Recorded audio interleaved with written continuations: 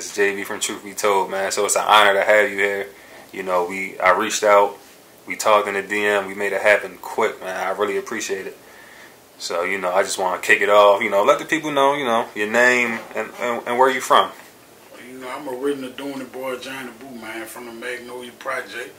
Originally grew up in the Belmont coat, you know what I'm saying? But, uh, you know, I'm Magnolia made, man. I've been all over the project, you heard me? Okay. So, you know, that's just what it is. Okay. So tell me, tell me what it's like, what it was like growing up as a as a as a little kid in, in, in Magnolia. Well, growing up in the Magnolia, man, it was cool, you know what I'm saying? Like, my mama was originally from the Calliope Project, you know what I'm saying? Uh, Durgeon Wall Codeway, you know what I'm saying? But, uh, you know, as I was young, like four years old, she called a life sentence, you hear me, for dealing heroin and stuff, you know. And uh, after that, you know, that when I went to the NOYA, you know what I'm saying? Went to the NOYA. And uh, my stepmom was Dolores, everybody should know, you know what I'm saying? She uh, served the Clickham, the two for three lady, you hear me? And uh, Belmont cool. But uh, So you so your mom's still locked up right now? now my mom actually came home Oh, okay. when I was uh, incarcerated, really. Like 2010, I called my time in 2009. She actually came home from a life sentence in 2010. You know what I'm saying? The law in uh, Louisiana changed. She was uh, housed in St. Gabriel, Louisiana. You know what I'm saying? And uh, Oh, okay. So like growing up, did you? So when you moved from from the Cali to the Magnolia, did you know you, you say you was with your stepmom? right. So did you have like your, your, your dad was around, or like was was you what, what was your household like growing up? Like stepmom and dad around, or just stepmom? You know, it always was stepmom, you know what I'm saying? I ain't had no father, bro. You know, my father was uh, deceased, you know what I'm saying? So I never really had a chance to meet him or know what he was about. But I done heard stories about him, you know what I'm saying? And he was out the Magnolia Project, you know what I'm saying? But uh, and I really don't know too much about him, but the story that older he done told me about him that were from the project or from out the Calliope Project or just people that just knew him in general, you know what I'm saying? Right. So like growing up, you know, I seen a couple interviews with, with some artists from the Magnolia. You know, I seen like a Turk, I seen Juvenile, and they said growing up, you know, they seen all they all they seen was just like murder, murder, murder, murder. Like when you was growing up as a younger, you know, as a younger kid, was that something that was around at the time? Like, did you see like did you did you have to witness a lot of crime to that extent? I I witnessed a lot of crime, you know what I'm saying, in the project, man. You know, I witnessed things from looking out the window, and I witnessed things from sitting on the porch, you know what I'm saying?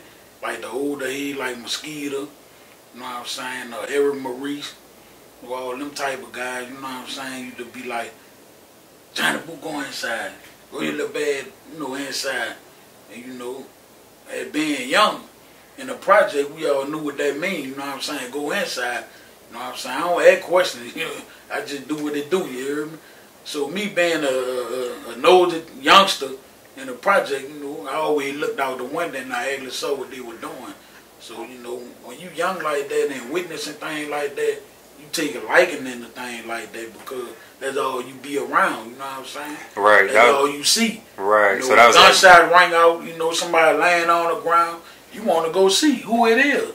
That was my next question. So it, it didn't. So when you would see, you would witness these things. It didn't turn you away from it. It just made you more like intrigued as far as like what they had going on. Right. You know what I'm saying? As as a younger dude, because some, people it could be like if I was, you know, me personally or something. Man, being I'm not like no street dude or nothing. If I see some activity like that outside, I'm I'm probably you know what I'm saying. It that's not me. Right. But it made you more intrigued with you know with the streets basically.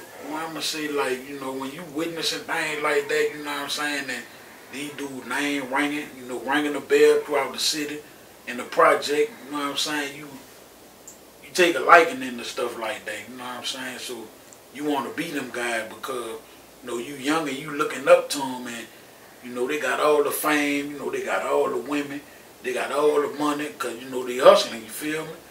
So you know just looked up to guys like that, man, and you already respect them. So once you got old enough to be their age or closer to their age, you know, you start doing things that they were doing because that's all you see. Right, and you named some Eric Maurice. You know, he was he was name dropped in the, in the Magnolia Slim song. He had Yeah. that he had that uh that that bar. What do you say? Uh, I seen I seen Eric Maurice. See, everyone dressed up as a clown. Dressed, like a clown. you know? yeah, yeah. So So I'm looking at it work. So that's how I would. You know what I'm saying? Sitting on a project porch, you know what I'm saying? You know, these type of guys do stuff you can't help nothing but to see. it, You know what I'm saying? It's in the open window project. Right. These ain't nothing but cold way. It ain't like the streets right there. Uh, you know what I'm saying? So it was easy for to do stuff and kind of get away with it a little bit because when you from the project and you know everybody, everybody know you, they know your family, your mama, all that. Ain't nobody gonna tell on you. You know, it is just is what it is. I saw you and I didn't saw you. But some of the old heads that'll see you, you know what I'm saying, doing dirt, they'll pull you aside, be like, you know, I saw what you did. You know, and you just laugh it off and be like, all right, mom, all right, all right, old school. You know, it just was like that. You heard? right. And, and what part of the project? So can you break down the projects? Tell me, because you I hear, uh, you know, I hear Wild Willow, Right. Six Court. I hear uh, just different parts of the of the, of the Magnolia. You got the old the old side, new side. What part did you grow up in?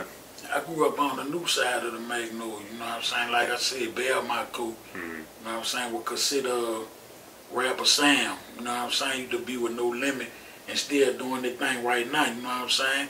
I stay across the coast from Sam. I used to be by the house every day, matter of fact. Me and that little cousin, little Nathan, you know what I'm saying, we'd uh, sit on the pool, play Ninja Turtle toy, wrestling toy. You know, we to be in the house playing the uh, Nintendo, the regular Nintendo. You know, I had to sleep over there every weekend, you know. We to go to the same school, Tom LaFon, which was uh, based off in the middle of the Magnolia Project, you know what I'm saying? This like one of the only projects that had a middle school actually in the middle of. So, you know, we all went to the elementary school, you know what I'm saying? So, So like so, you mentioned some names before. Uh, so who when you when you know growing up as a younger in the younger days, who are some some names that were ringing bells in, in your projects, like that you that you always heard or you seen and that you you know you looked up to? I mean, you had Gangster, you had Sterling, you had Mosquito, you had Eric Maurice, you had Lad you had Funky Fool, you know what I'm saying? You had Frank Mignard, you feel me? You had a lot of other older heads that was, you know, name was ringing for doing that thing, representing the Magnolia, you know what I'm saying? So, you know, that's who, you know, guy that we always looked it up to, you know what I'm saying, by growing up in the project. You had, uh, Brian, you know, you'd have called him bigoted back then. You know what I'm saying? You know, that was Lay Lele brother, you heard me? Lele. So, you know, we always looked it up to those guys that had the big names, you know, like I said before, you know, we always wanted to be like them, you know what I'm saying? Because, uh, like I said, the daily activity you see by being a, a, a youngin', you know, that's all you see, so you want to just be an image of them. Right. So like wanting to be an image of them. So at, at what age would you say you you jumped off the porch? It was no more looking out the window. You kind of like just in the mix. At what age would you say? Say probably about 12 or 13, you know what I'm saying, that I can remember, you know what Right. I'm saying? Like, my stepmama Dolores, man, she always was hard on me, you know, and uh, she used to always bring me, my sister, and all that to go uh, take the ride to St. Gabriel, go see my mama like every other weekend. So, you know, my mama raised her from the penitentiary, actually, but, you know, like I said, she used to always bring us every weekend, every other weekend go take the ride to Gonzales, Louisiana to go see my mama. You know, and uh, like I say, about 12 or 13, you know what I'm saying? My first uh, gun that I actually had touched and shot was a 25, you know what I'm saying? God bless her dead, my brother Bo Hickett. You know, he was well known in the project, got some hands, you know what I'm saying? You know, people were scared to fight him, you know what I'm saying? He kind of was high you know what I'm saying? But, uh, Okay. So you said, so you, you got your first gun at twenty, uh, your first gun at twelve, in the projects. Right, I shot it during New Year's, you know what I'm Oh, saying? okay. Like, you just got a gun, you shooting at New Yeah. Year's Eve, you know, everybody. It was just like that, you know what I'm saying? So at what point, you know, at twelve years old, you're off the porch now. At what point does does this the Dooney boy the Dooney boys form? The Dooney Boy phone probably like 1999, you know what I'm saying? We had a, a short ex- expand uh, 99 to 2000, you heard me? So, you know. So like, at what age would you say? Well, take take me back. Take me back to how how the Dooney Boys started.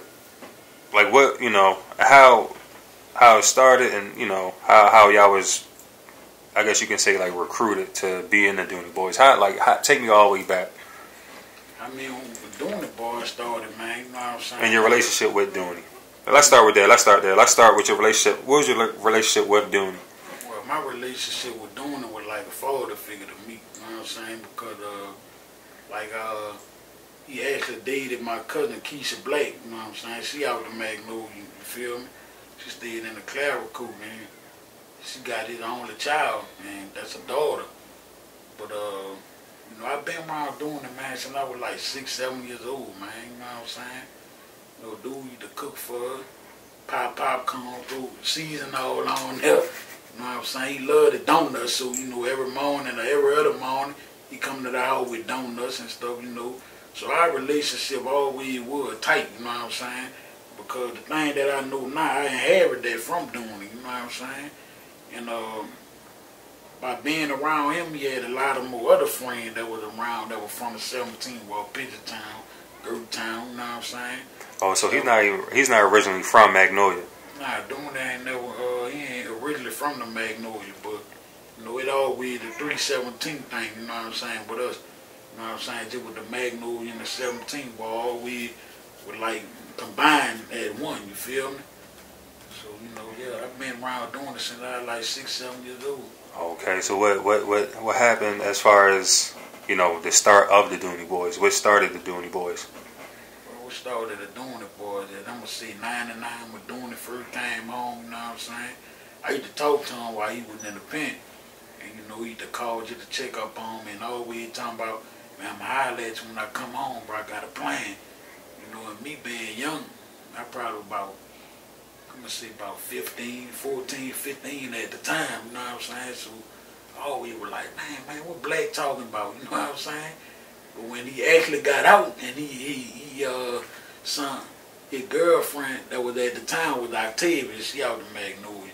You know, she like doing it, want you around there on Magnolia Street, you know what I'm saying? So uh, he was around there by my cousin Keisha Blackhout. He was just coming home his first day, you know what I'm saying? So I go around there and I holler at him and stuff. He like telling me what he got going on or what he won't do. You feel me? And he like, man, I need a lot of young guys. Which young guy that, you know, that you run with that you trust? And I'm like, man, there's a lot of them, you know what I'm saying, that I just run with just in the mixed up, you know what I'm saying? And uh, he like, all right, all right, that was up. Well, uh, I got this here going on, you know what I'm saying? So, did what I want to do. He was telling me the plan, you heard me? And uh, Okay, so what like what was his plan? I, I didn't know he had, you know it was like a plan involved. So his what was like necessarily his plan with the Dooney Boys? Well, you know, when you got a plan, man, you know, a plan always something that you sit down and thought about, that you done made, you know what I'm saying, come together and stuff. So his plan was to take a few young guys, you know what I'm saying, that ain't just really had too much in the hood. That, you know, we out the hood, man, we struggle, you know what I'm saying. Some of us come from broken background, you know what I'm saying, so just ain't had too much, you feel me? So, you know, we took a few of us, took us up under their wing, bro. You know Oh. what I'm saying? They gave us the game, you know what I'm saying? Okay, so like when he when he took y'all under his wing, when it first started out, like what were some things that not necessarily he had y'all doing, but y'all was just doing being as Dooney Boys? And was the original name the Dooney Boys, or was it? Nah, we were just some young nigga that was just hanging around at first, you know what I'm saying? Uh, we actually got the name Dooney Boy from the Magnolia Hood. You know what I'm saying? Everybody knew the Magnolia Hood. Consider uh, uh. I'm gonna see. Uh, I mean, there's a lot of them. You know, YY from out the project. You know what I'm saying? Kiki. You know, it was a lot of Magnolia girls that just hang around while we were doing our thing, and they just started calling us Dooney Boy. And then next thing you know, Dooney Boy for the short term went to saying DB. You know what I'm saying? DB was short term for Dooney Boy instead of just saying Dooney Boy. The, the uh, DB. And that's how, you know, we got our name from the Magnolia Hood. Okay, so starting out as you know the, the Dooney Boys is just starting. What like what we like it? Yeah, be lookouts on the corner, that type of situation. Right, right, right. You know, we started off at bus boys. You know what I'm saying? Watch the bus, let them know. You know, the law coming this way, they coming that way. If it's straight, you know what I'm saying? Stuff like that. You know what I'm saying? Like Jude you just see. You know what I'm saying? You're gonna start off, you're gonna watch the bus. So that's how we would. And then, you know, we always had the saying the way you graduate. You know, some of graduated, you know what I'm saying, from watching the bus to catching the hall week. So when we called the hall week, then we knew that it was up to the next level. You feel what I'm saying?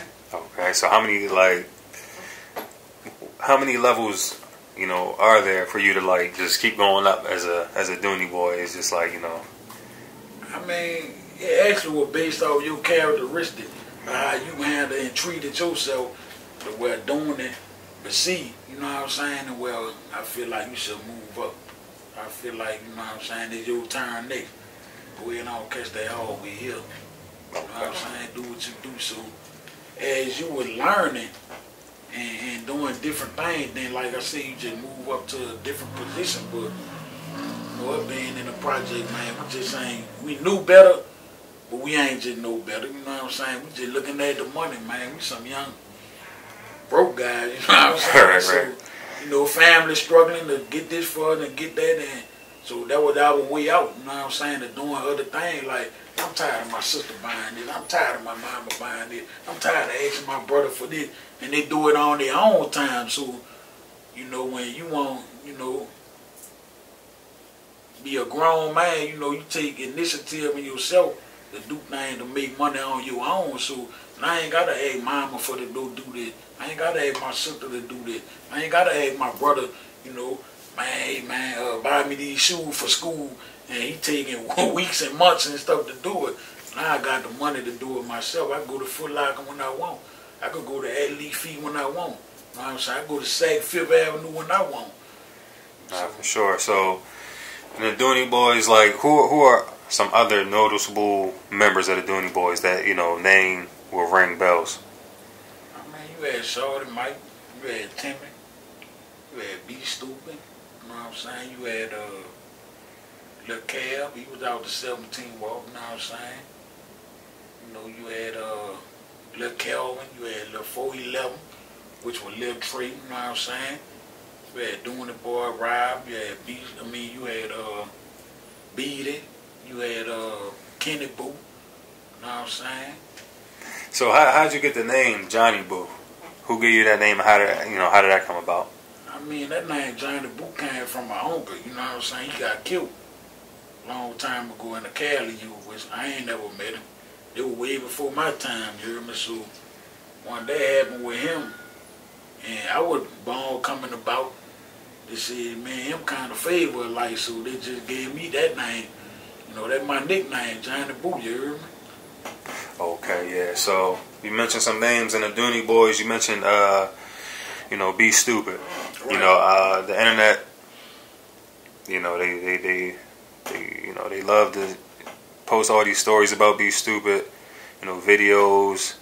You know, his sister. I, you know, I want to shout out his sister Deshawn. She reached out to me. We spoke. Right, right. Um, you know, what what can you tell me about be stupid in your relationship? Man, man, be stupid always was tight, you know what I'm saying? He always was a high head, but he always listened to me, you know what I'm saying? I could speak for me, man, me. You know, when I ask him to do something, I tell him something, you know, he always do it, you know what I'm saying? Like, the youngin always was a high head, though, you know what I'm saying? Like, he wasn't getting it. Like, that one of the DB that, you know, that just wasn't getting it, you know what I'm saying? That just had to respect his mind, you know, he gonna make you feel. That's just what it is, you know what I'm saying? handle business ask question later. You know, that be stupid. You know, when you uh, speak on that name and you hear it, then you wonder, like, this the dude had to be stupid. You know what I'm saying? So, it's just what it is, what it was with him, you know what I'm saying? Right, right. So what about um, you know, you got Shorty Mike. So, And, you know, you got the uh, the bar from Soulja Slim, Magnolia Slim. You know, he got that that bar. You know, Shorty Mike just got killed. right, right, So, right. So what was your relationship with uh, with Shorty Mike? Man, Shorty Mike was cool, man. You know what I'm saying? Uh, Shorty Mike actually was from out the Iberville project. You know what I'm saying? Uh, his mama and stuff moved back there in the Magnolia. So, uh, when he moved back down to Magnolia with his mama, you know, him and Dooney had kind of collided a little bit. You know, build a relationship, you know what I'm saying? And Black came in the project one day and was like, man, I want y'all to meet my little, you know, my little nigga. And then that's how we all met so uh, uh Shorty Mike, you heard me? That's how Shorty Mike come about doing that, you know, uh, presenting him to us, you know. And like even though he was from another project, we still took him in like family, you know what I'm saying? And where you were from, where you was at with us, you know what I'm saying? So that's how, you know, we get the thing with Shorty Mike, you know what I'm saying? But man, his relationship with I, you know, we had a few run in, but you know, some of us always gonna have that, you know what I'm saying? Little fight, little arguments and all that, but it was always love, you know what I'm saying, with all of us. Okay, for sure. And then you have uh, another person, you know, people ask about is uh, Timmy. You know, man, Timmy. Timmy, man. Man, Timmy go way back, like, hopscotch, you know what I'm saying? Like, when this beat on Timmy, bro. That's like your day one. Yeah, you know, that was like my best friend, you know what I'm saying? Just when my day one, that was my best friend, you know what I'm saying? Timmy Caruth, you know what I'm saying? You know, me and Timmy went through a lot of things together, bro. You know what I'm saying? We went to elementary together. We to play in the courtyard together on the uh, on the uh, dirt piles. You know what I'm saying? They used to call us dirt divers and stuff like that. You know what I'm saying? He always was wild too. You know, a little high here, you just couldn't really tell him nothing. You know what I'm saying? But uh, yeah, man, Timmy relationship with I, man. You know what I'm saying? We come up together, man. Like I said, elementary. You know, we done did a lot of things together. You know what I'm saying? I ain't gonna speak on, but you know, we done did a lot of things together. You know uh, actually the day that Timmy got killed, uh, I was at his mama house with him because he already suffered a gunshot wound in the back of his thigh. And uh, that same day I was at his mama house and I was telling him, bro, listen, bro, you on crutches, you know what I'm saying? Like, you know, we beefing, you feel me? So you don't need to come in the project, period. Lay low, man, you know what I'm saying? Get well. Because if you come in the project, bro, we beefing like we is, somebody swing, bro. Everybody gonna be actually trying to protect and think about themselves. See what I'm saying? And uh, he was like, you know what, Johnny Boo, bro, I ain't gonna come back. And I'm like, all right. So during that time, I jumped in the cab and went back in the project. This during the time, like the project was, everybody was moving out. They were forcing everybody to move out to Magnolia at the time. You know what I'm saying? So six co probably had probably about a few people there. I ain't gonna see a handful it wasn't even 10 people living in six at the time because everybody was moving. That when they were uh, making them move downtown, St. Bernard project, where we wanted to pick at because they were on the verge of demolishing the project, you heard me? So, uh, so we like, you know what, Johnny Boo, you right, man. I ain't gonna uh, come back there, but, you know, one thing turned to another, you know what I'm saying? Like, when I did call the cab and went back in the project and landed on 6th Street, you heard me? Uh, little 411 come on, because he was in like the juvenile detention jail. So when 411 came on, it was me, Stupid, Dizzy, Warrior, you know, a few of us, uh, Lil Rob, you know, it was a few of us in the we at the time, because it was 2001, you heard me? You know, uh, not to mention that, you know, man, Timmy Caruth, sister had a daughter together. You know what I'm saying? So we were real close, like I said, we were real close. So we had a daughter together. She was born 2001, August 14, you know what I'm saying? And uh, she was born at the time, so it was like August she was born. So I'm gonna say Timmy got killed September, October. I'm gonna say around November or something, if I ain't mistaken the date. You know what I'm saying? I just don't actually. You know what? It was uh, around 9/11 time. That was November. I remember. So uh, know, like I said, Timmy was a high head. You know, he ain't like to listen, bro. You know how we were young. All of us ain't gonna listen to some somebody tell us, bro. So I told him no come. He came anyway. So when 411, uh, when we go around there on six, I get out the cab, go meet up with the other uh, uh doing the boy brother. You know what I'm saying? Uh, 411 come on. He come walking up sick. We got a bush on the head, so we like, man, about to bring your um Man, we about to bring you on uh, the air to go up there and get your uh, haircut by Vanessa shop. Vanessa, she one of the hairdressers out the Magnolia, you know what I'm saying? But she was in the shop that was on Louisiana, uh, Washington Avenue. But uh, they had people in there cutting hair and stuff, so we bought them around there get a haircut. So as we sitting in the barber shop getting a haircut, the phone rang up in the barber shop. We like, man, somebody just got shot up around there on sick. Like, on we just come over sick. Now somebody got shot up out there, ain't nobody without out there. So, you know, as uh, we get the word, you know what I'm saying, we go around there, see what it is, it timid. You know what I'm saying? So that kind of like messed with me a little because I just told him, you know, to stay home. And uh, he told me he was, so, you know, that kind of touched me a little bit. And he came anyway, and, uh, know, that, that what happened to him, you know what I'm saying? He got killed that very day. So y'all, so y'all got the phone call while y'all was at the barbershop, but Yeah, y'all just left. How, like how how long? Man, it probably wouldn't even like 15 minutes, bro. No later than 10, 15 minutes. We made it to the barber shop. You know what I'm saying? And uh, So do you think like if y'all wouldn't have went to the barbershop, it could have prevented what happened to him? Because you know all y'all would have been out there. I mean, all that would have been out there, bro. You know, and never know how that situation could have turned out even worse. Uh, who say that we could have got him up off him? You know what I'm saying? I feel like we could have got him up off him, but uh, you know, thing happen, man. You know what I'm saying? When you're in the game, you got to accept certain things that come with it. You know what I'm saying? So once we made our mind up to jump off the porch and actually do this and do that, we already accept the consequences that come with it. You know what I'm saying? Because you know you live by it, you die by it. You know what I'm saying?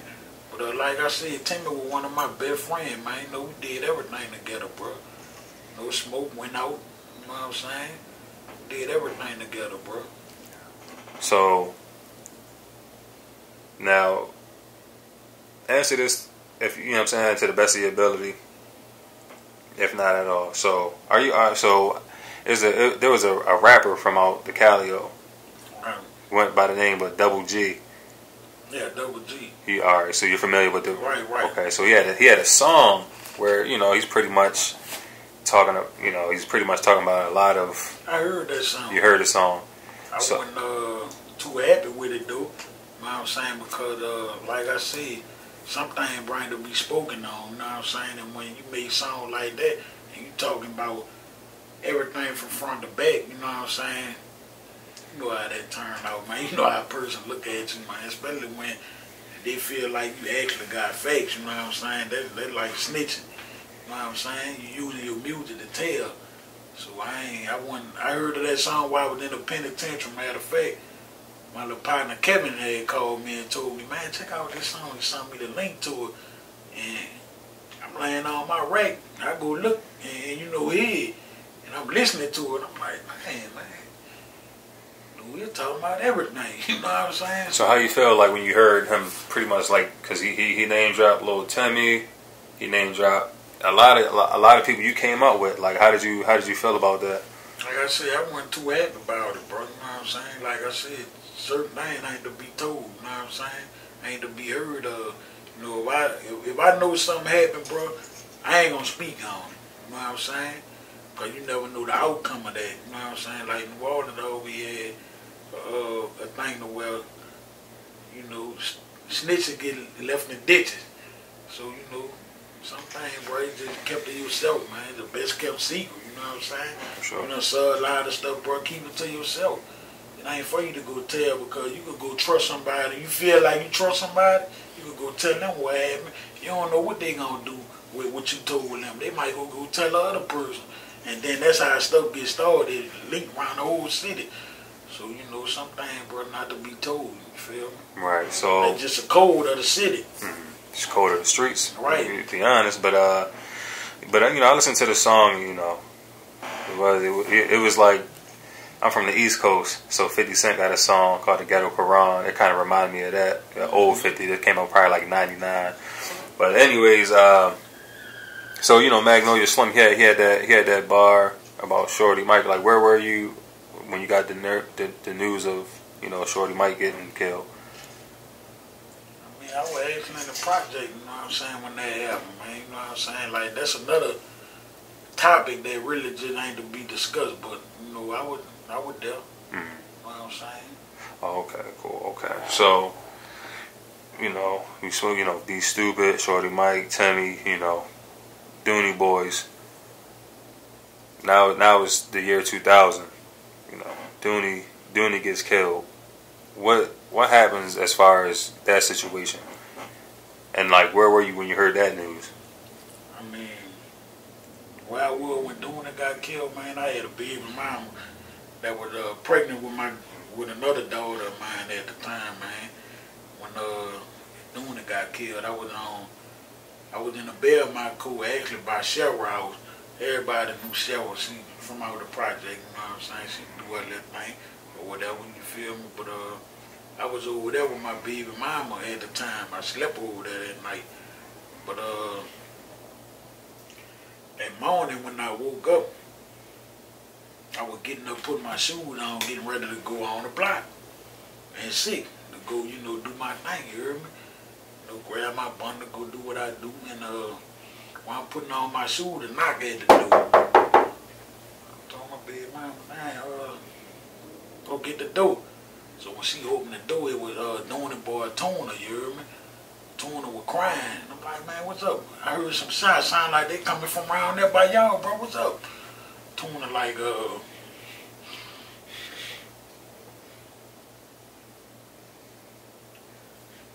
know it hurt me when I get right here, bro. You know, uh Tuna was like man that Dooney around there, you know what I'm saying? He, nigga come out the other hallway, bro, and uh and he black. So I'm like, for real? So I grab my thing. You know, I'm always scrap. I grab my thing, go around there with the police go around there and all. So I go around there, but he on the second floor.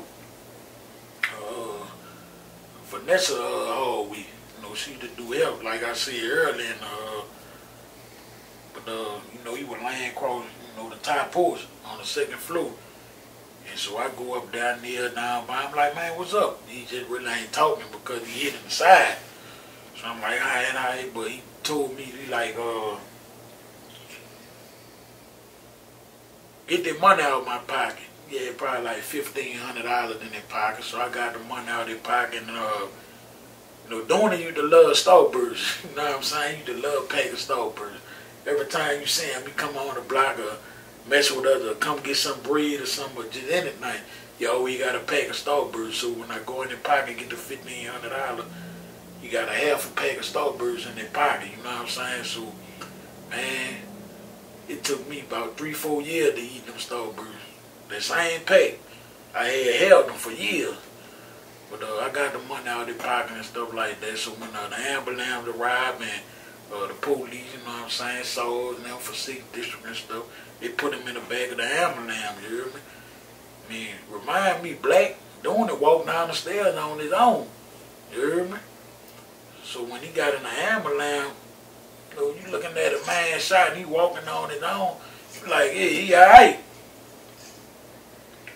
Once you got to bleed, man, and uh, you bleeding in the inside, you really ain't supposed to move, you know what I'm saying? Ain't nobody supposed to move you. The ambulance supposed to grab you and put you on that stretcher, you go to the ambulance, so by him moving, that bullet kind of moved around a little bit, and uh, you know, uh, a couple days before that, we're sitting on the block, and uh, somebody was trying to sell a vest. And uh, like, man, black man, you need to buy that vest. Like, like, man, I don't need no vest, man. You to take a headshot. So, you know, to me, I always thought about, you know, if black would have got that vest, by him getting shot in the side, probably could have saved his life, but, you know, things just turned out one way to another. You know what I'm saying? So, uh, so the so the person so was the person ever caught as far as you know by the authorities who you know committed the crime as far as as far as Dooney go? I mean that you would never knew. You know what I'm saying? I mean you would never knew that until this day. You know what I'm saying? You still don't know. Spectate uh, who. You know what I'm saying? But you actually never know. You know what I'm saying? Your speculation could be wrong sometimes. You hear me? But at the time, speculation was kind of on point, you know what I'm saying? But so, uh, like, do you think it came from like some some hating or just? Oh, it most definitely hating. You know what I'm saying? Because when you look at it, like you from Atlanta, right? I'm from the Magnolia. I grew up there. You heard me? But you come from Atlanta with a plan, and you got these dudes that's in the project that been around us for years. They ain't trying to give up nothing, show us nothing. No type of hustle experience. No, they just, you know, so you come from where you come from and put us on.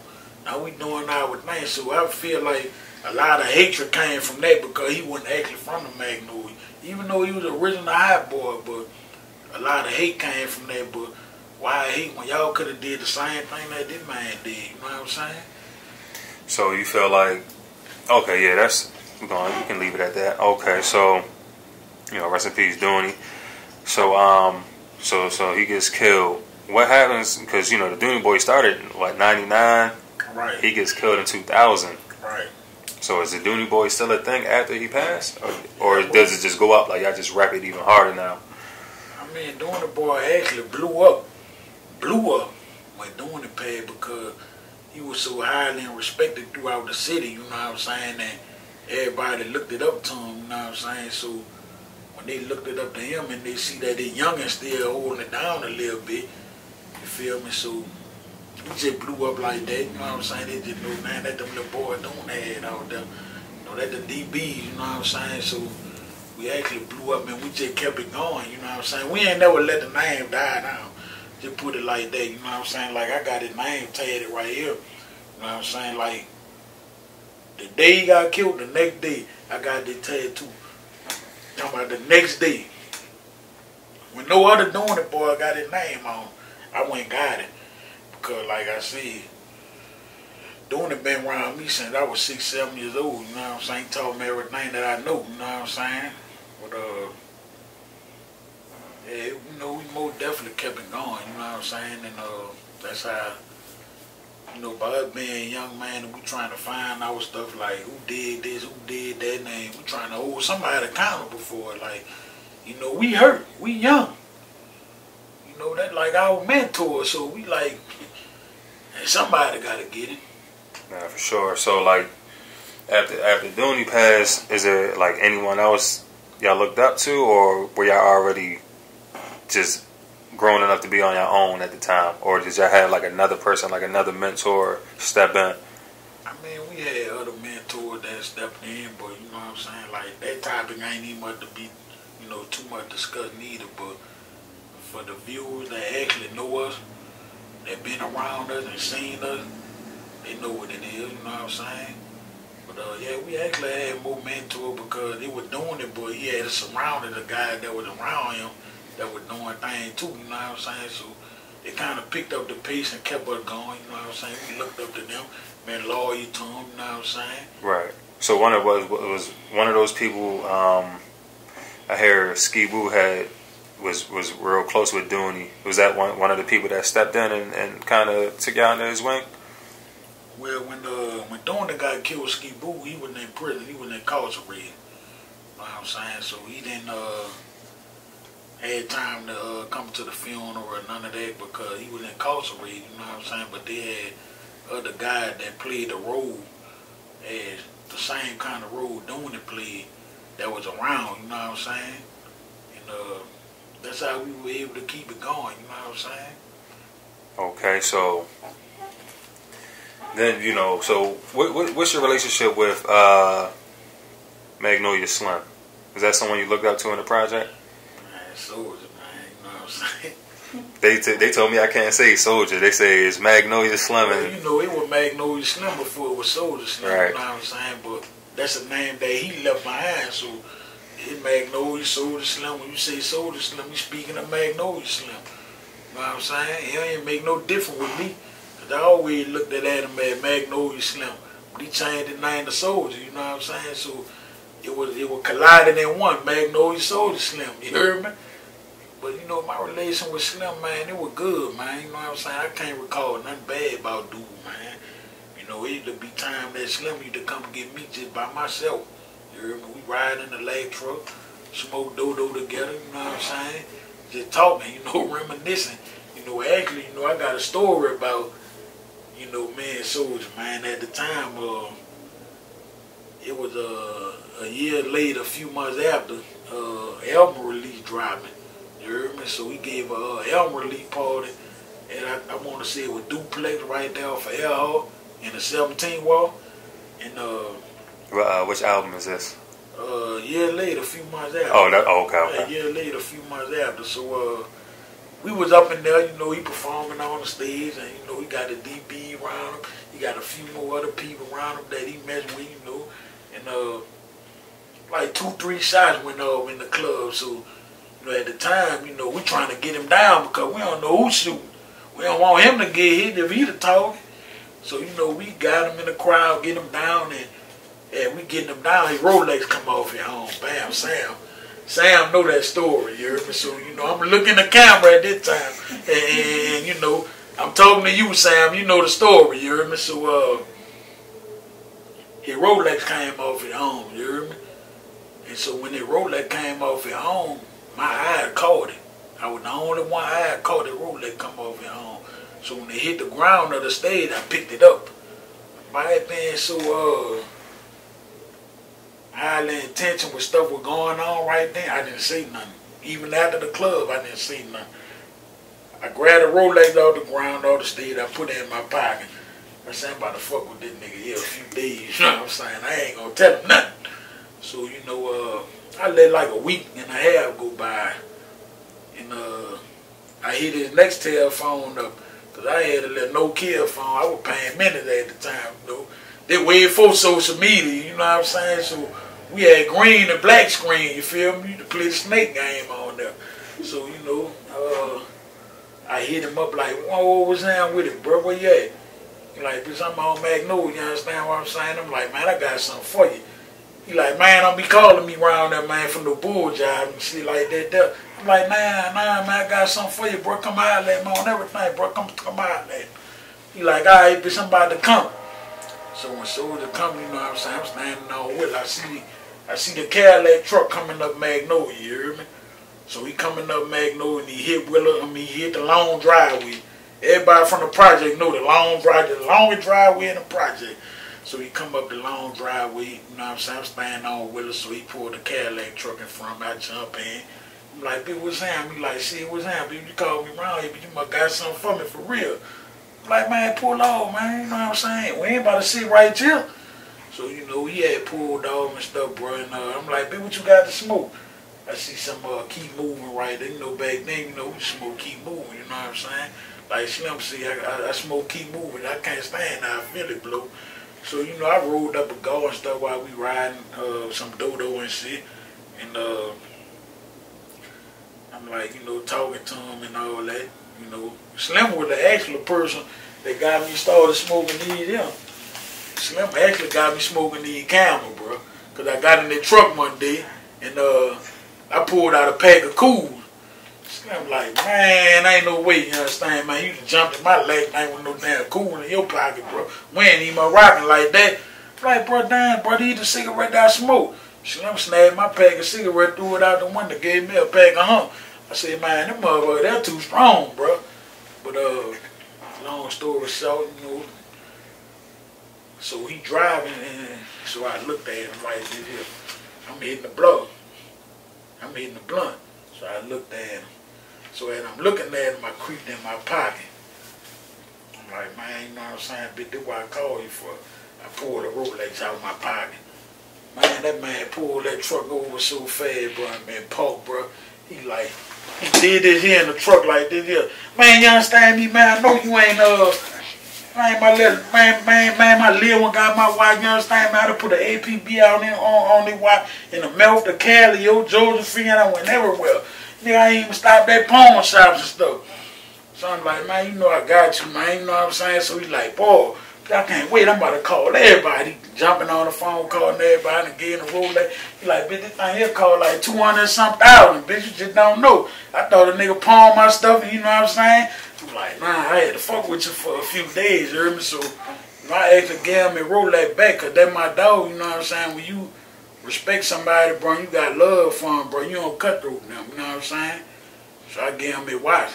and that was the happy day of his life when I gave him a white baby, bro. And uh, he word with the me was like, man, when I blew up, bitch, I got you. And you know me, I'm young. I'm like, man, it ain't much about that, bro. You my dog, you hear me? So I gained a lot of respect from Slim for that. Because if it was an average person, bro, and that watch cost that much, they probably would have pawned it or sold it for some money. And it wasn't about the money with me, you heard me? About the love. So, you know what I'm saying? I get home, me a white bag, you know what I'm saying? Slim used to always come get me. Come get me from my sister house, you know what I'm saying? The day he got killed. Uh, I was just coming home from jail. Matter of fact, you heard my dad probably like a year and a half, almost two years, you know what I'm saying? And uh, Slim had called me, bro, and uh, like, bitch, where you at? And I'm like, man, I'm downtown by my sister house, you? Like, somebody come and get you. And uh, I get ready and stuff, put on my clothes, go take me a shower and stuff, get ready, put on my clothes and stuff, man. Uh, I go on the other side of the project in the Florida project because my sister was staying in the Ninth Ward at the time. So I go on the other side of the project, give me some smoke and stuff. I got my cutthroat committee sweater on, you know what I'm saying? So I'm waiting for Soulja. And uh, my phone rang. My sister like, bro, where you at? I'm like, I'm coming from over the other side of the project getting some smoke. Why, what's up? She like, uh, you know they talking about Slim just got killed on the radio? I'm like, Slim just got killed, man. That ain't, ain't no way. I just talked to Slim. He said, you about to come get me. It's like, man, they saying Slim just got killed in front of my house that he bought her and Gentilly. He laying on the ground right now. Like, for real? So I hung up with her. Grabbed my phone. You know, I got my phone already. I hung up. So I'm calling Slim phone. They going to voicemail. Yeah, the voicemail on their phone. Yeah, yeah, yeah. You know what I'm saying? So the Slim, you know what I'm saying? Just leave a voice message. I still remember that message. You know what I'm saying? So I'm like, man, man, dude, I ain't answering it. Uh, his phone, bro, going to voicemail. I'm saying it to myself. You me? And I'm walking. I got my sack of grass in my hand with my seagulls. So now, I'm like, man, it got to be true. So my uncle had called me like, Johnny Boo, where you at? I'm like, man, I'm downtown by uh, my sister. What's up? He like, man, you know, uh, I'm in front the Slim Mama house right now. You know, he laying on the grass. I say, bro, for real? He like, yeah, he laying on the grass right now. He the siren in the background from all my phone, so I know it was true, you heard me? So I'm like, man. So Soulja Son was actually on the way to pick you up when you got the news that he passed. Right, you were supposed to come and get me, cause you know, I was like I said, I was just coming home from prison. You know what I'm saying? I had went on a run for a charge, man. I was on a run for like six months before they called me. You know what I'm saying? So they did call me. They laid me down for like a year and a half, almost two years. So when I come home, you know what I'm saying? He would come and get me. He came and got me like two, three times. But this particular day the day he got killed. You know what I'm saying? I'm like, man, I was waiting on dirty. You know what I'm saying? So they, you know, it's no secret, you know, Soulja Slim, Magnolia Slim, you know, he pretty much he wasn't he wasn't your average rapper. You know what I'm saying? He was really in the streets, Right. as well as you know a great a great rapper as well. And um, he had a he had a song that was called "If It's Beef." He had a verse on that song. Now, a lot of people say from that verse is what was the trickle effect to his to his untimely demise. Like, can you speak on that? I mean, I'm gonna just say that when it come to that verse on that song, you know what I'm saying? Like, you know, everybody knew Slim. He was a live wire himself, you heard me? He was street, he was from the hood, bro, you know what I'm saying? So, Slim did what he did, you heard me? And he couldn't take that back. But when you put somebody on a song and you actually speak about what you did them, you know what I'm saying? That kind of add flame to the fire. So now, that person probably like, man, nigga put me on the song. Everybody know what happened. You know what I'm saying? So, you know what come behind that, man. You know what I'm saying? So when when he so when you got the news that he got killed, you know how like how did it make you feel, knowing that he was supposed to come pick you up, you knowing that he was you know this well respected guy with the project, knowing that he was on his way musically, like how did that make you feel? Like when you like when it settled in. I I was devastated, man. You know what I'm saying? I was, I was hurt, bro, because you know, you know, Slim was young at the time himself. You know what I'm saying? 26 years old. You know, the dude got a, uh, he got a, a, major deal coming across. You know what I'm saying? Uh, it was a few times where I would ride with him in the truck where he was talking to uh, uh, uh Jadakiss. You know what I'm saying? He, he, he was in cahoots with Jadakiss at the time. You know what I'm saying? And uh, dude was in a relationship. You know what I'm saying with uh, a famous singer at the time, which everybody knew that was Macy Gray. You know what I'm saying? Yeah. You know, yeah, he, he was in the relationship with Macy Gray at the time. He had Macy Gray in the project. I ain't oh, okay. in the you know, when he go out of town, Los Angeles or something, you know, that was it. That was his little female. You know what I'm saying? That he was dealing with. Uh, you know, that was my first time actually knowing about 50 Cent. Then, you know what I'm saying? Nigga knew about 50 because Slim shot him out on the uh, song. You know what I'm saying? One shot for 50 Cent, two brought it back to the street. So you know, we to be in contact with 50 Cent. You know what I'm saying? And uh, Soulja was supposed to be signed with G Unit, but up under Cutthroat Committee records up under their own label, you know what I'm saying? But unfortunately, you know, due to tragedy and their life being cut short, that deal never happened, you know what I'm saying? That would, uh, uh, uh, Love Me or Love Me Not, that was his last uh, video that he shot. When he shot that video two weeks later after that, then he got killed, you know what I'm saying? Mm, what, what was that like? was the video for to make him go you know, up there, you feel me?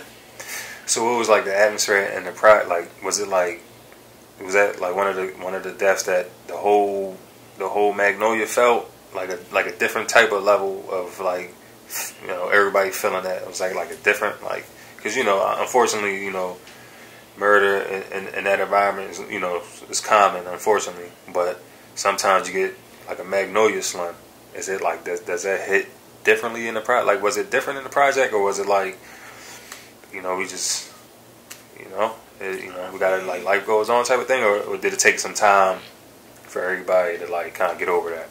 It took some time for everybody to get over it, bro. Because the simple fact that, you know what I'm saying, Slim was actually from the Magnolia, you know what I'm saying? Like, it's somebody you see every day. You know what I'm saying? We ain't just look at him as no rapper. He was like me or you. So when you build a relationship with somebody like that, man, uh, and they famous at the same time, it, it kind of hit different. You know what I'm saying? Like, when Slim died, Paul and the Magnolia died. You know what I'm saying? Like, when they two them break down, they two everybody apart. And uh, I remember Slim used to say, man, I ain't letting them demolish the project if I got to buy these motherfuckers. That, that, that what it is. I'm going to buy these bricks and let everybody live rent free. That way it goes. That way it plan to do. You know what I'm saying? But that ain't happening. So, at the time, so you so you lose like a father figure in Dooney. You lose like a real good friend and, and, and Magnolia Slim. Like, how do you cope with it within yourself? Losing like these two these two people at the time. Probably some more in between, but just just these two major figures in, in your life. Like, how did how did you cope with it? I mean, I cope. I mean, like I said, it hurt it. You know, we only suffer pain for a little bit. You know what I'm saying? Because you got to understand, life still go on, you hear me? But what you do here, during a situation like that, you think about, you know, the game that these guys gave you. You know what I'm saying? The, the conversation y'all talked about. You know what I'm saying? The, the, the long ride that y'all took and just, you know, bending each other present, you feel me? So I always took it as like, you know, it hurt it, but I had my own life to live afterwards. So, you know, it's life after death. You know what I'm saying? So I got to move on, but I got to be better. You know what I'm saying? I got to be better. I'm to take up the game. Dooney told me and showed me. I'm to take up the game Slim showed me and told me. You know what I'm saying? So I'm to make them proud. You feel me? I'm to make them proud. So I'm to live my life to the fullest, you know what I'm saying, and try to make a better and wiser decision that they probably ain't did, you know what I'm saying? So when I think about Slim and Dooney to this day, And the thing that I got going on in my life and where I actually come from, bro, you know, they looking down, smiling on me, you hear? Because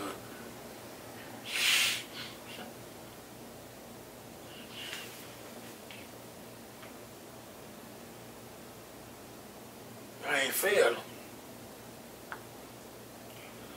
See what I'm saying? I ain't failed them, bro.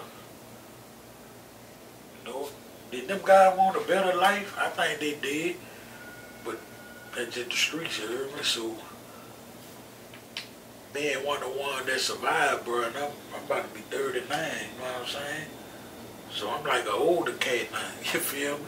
I get some youngsters, they call me old timer. OG. You know, when I was young, I always wanted to be looked at as an OG or something like that. But now, you know, the thing that you done been through, man, you know what I'm saying? You know, I actually could stand on the corner and take a group of young people and just tell my story to them. And hoping I could change somebody's life or change the decision that they won't make. You know, that I ain't made. You know what I'm saying? That I used to make and, and make them think different. But at the end of the day, people still gonna do what they want to do. But out of hundred young guy, Could change two of their mind. For sure, nah, for sure. So, speaking of the game, Dooney showed you in the game, Slim showed you. What, what, like what was what was the, like the two like what was some of the things that each each person showed you like coming up? The one always told me the game about drugs.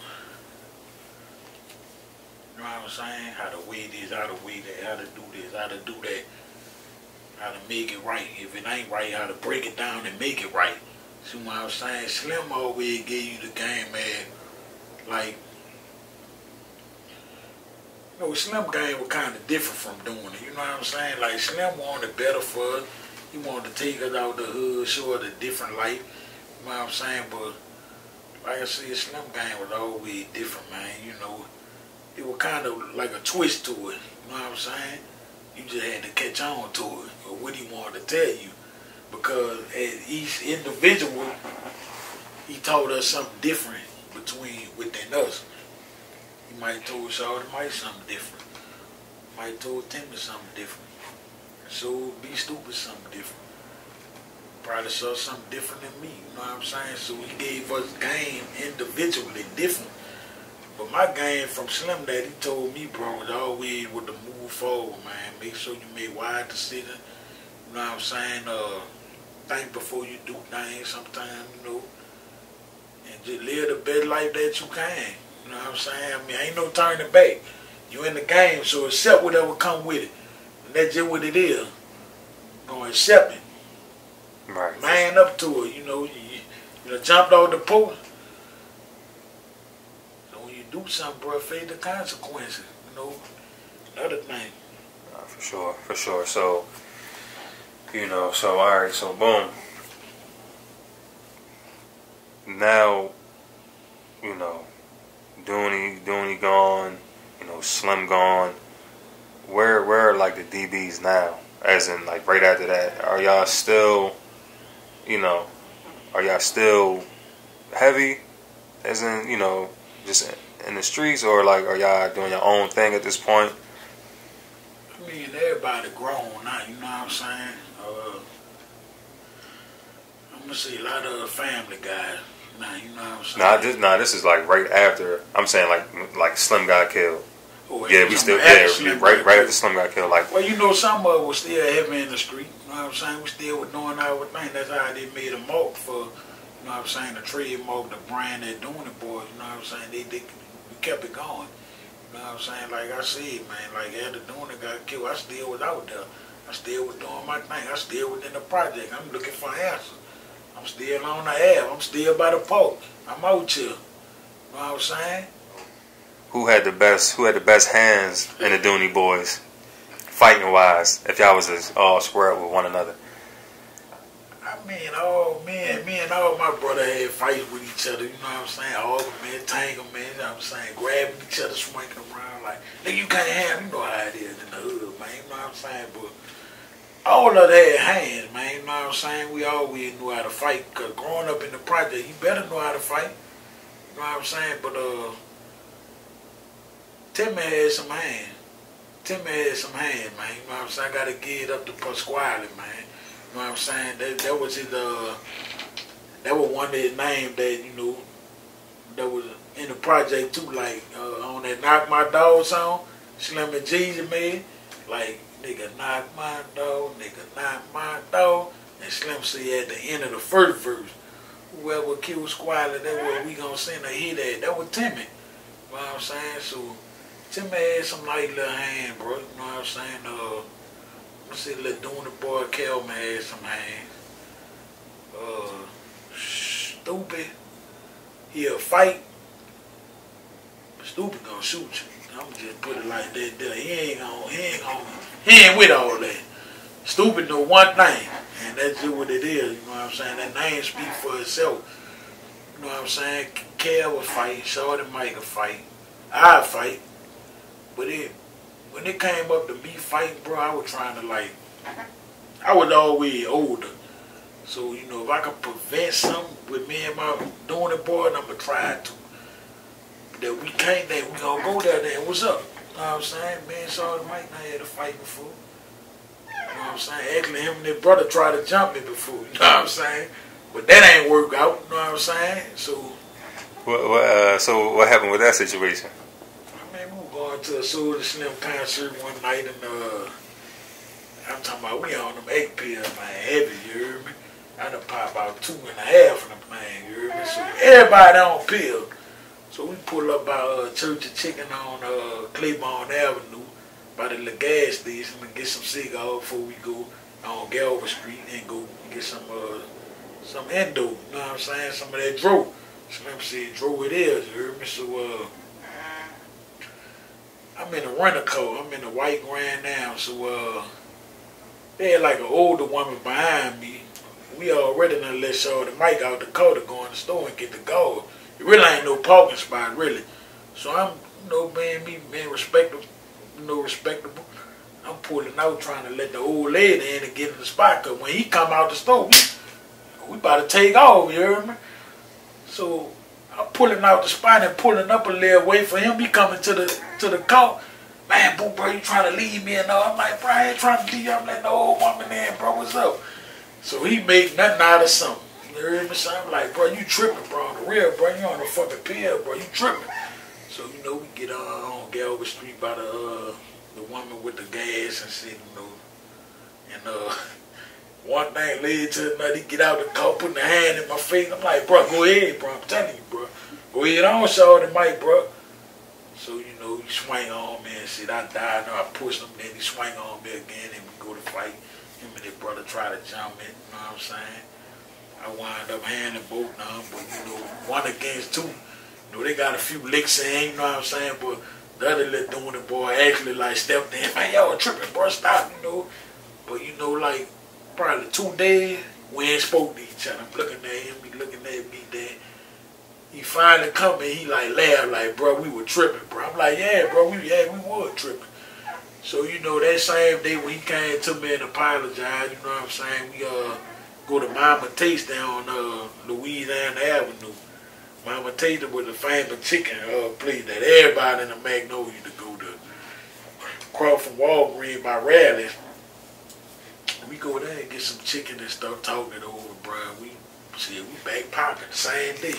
We throwing back two more pills. So, you know, that was that was that was something memorable for us, you know what I'm saying? But uh just like a little like right, some right, brother right, right, type. right, mhm. right. It wasn't nothing, you know. It was like two right don't make no wrong. Both them wrong. Right. Right, You right. So so what um what was your relationship with uh Lil Tuna? Man, Tuna, man, Tuna was a silent one. You hear me? The Tuna wasn't the type that was uh, in a lot of trouble. He kind of was like one of the young, smart doing it boys. You know what I'm saying? Like he, he, he just was a straight hustler, straight up. Tuna was a straight hustler, and he'll get down if it come down. But he the type that, you know, he'll try to prevent it first before it get that far. He was a good little dude, man. What I'm saying? And uh, like to messing with the little young women and stuff. You know his age and stuff. And I think that what really got him uh, knocked off, bro. Out of hate. You know what I'm saying? Like niggas see a young fly nigga with a little money, dressing fly and shit. You know they, you know how them young niggas they, they feel like they ain't getting the recognition that he getting. So I feel like that's how they ended up with Tuna, you know, hatred, bro. Like, we all had our own hate. You know what I'm saying? Somebody hated me, somebody hated him, somebody hated him, he ain't like him. So, wh- so where were you when you got that call about about Tuna? Uh, when I would got that call about Tuna, man, I would, uh, I think I would cross the river at the time.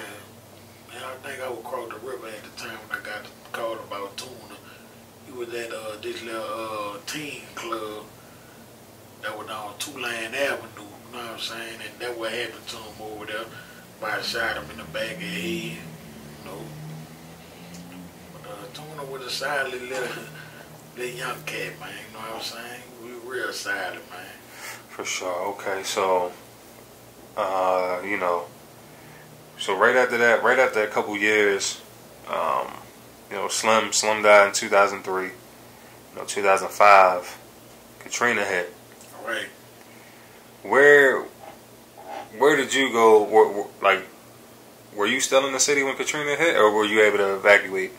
Yeah, when Katrina hit, I still was in the city. I was staying right off of Delacy by uh Devon, by Devon High School. You know what I'm saying? Uh, me and my big mama Tamara, which is Timmy's sister, we was staying together in a one bedroom apartment. You know what I'm saying? Uh, that's where I was staying there when Katrina hit. So, you know how certain people from, I mean, the people from the city, like, we like, man, that hurricane ain't coming, man. We ain't worrying about that, man. We gonna ride it out.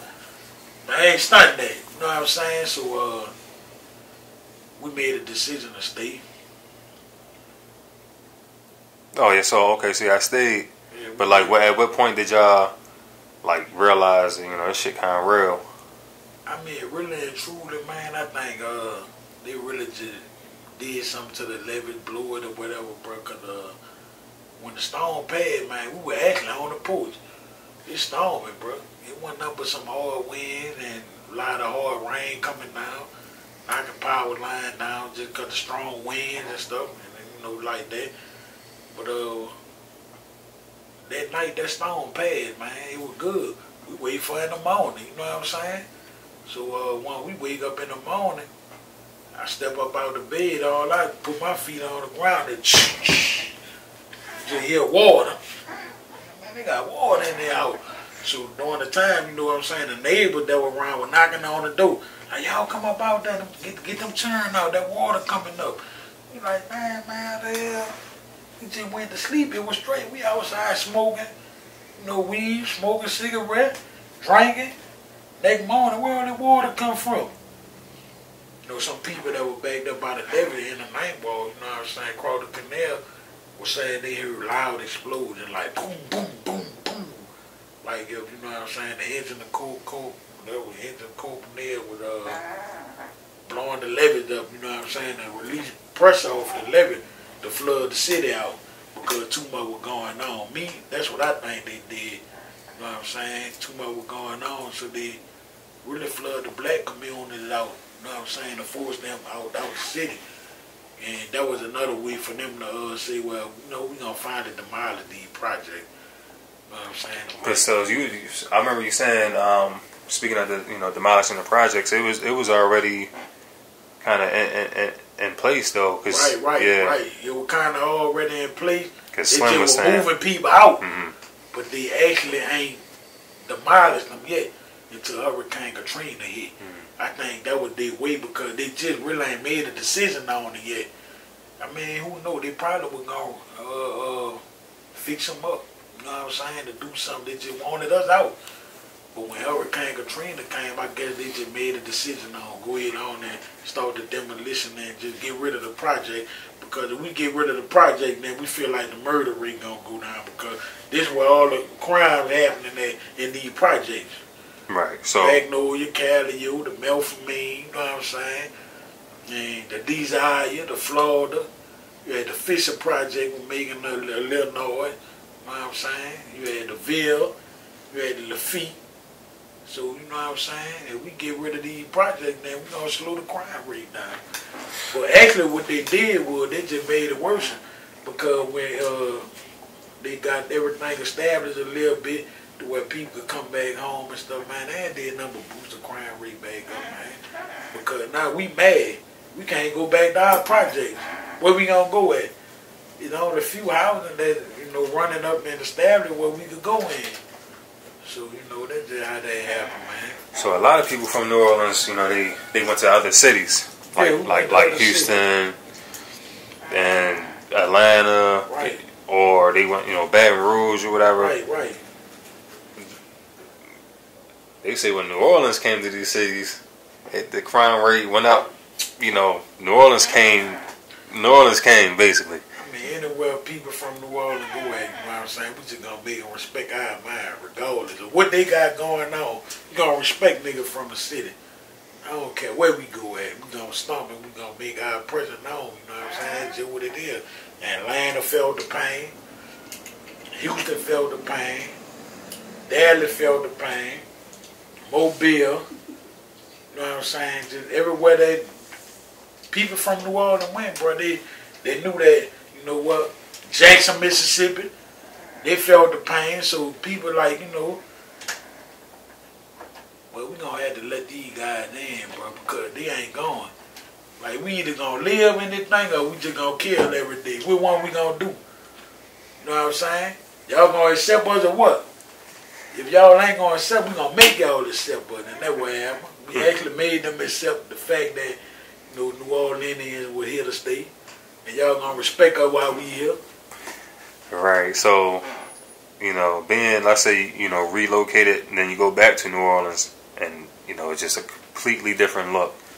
How did you know? How did that make you feel, knowing that everything that you knew, you grew up, everything is just gone?